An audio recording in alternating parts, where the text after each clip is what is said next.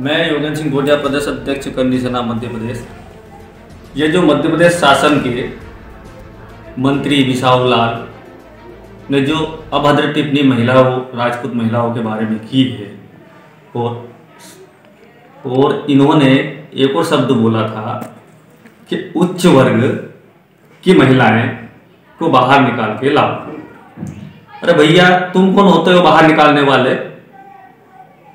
तुम्हारे मंद बुद्धि जो है, उस मंद बुद्धि को थोड़ा ठीक कर लो।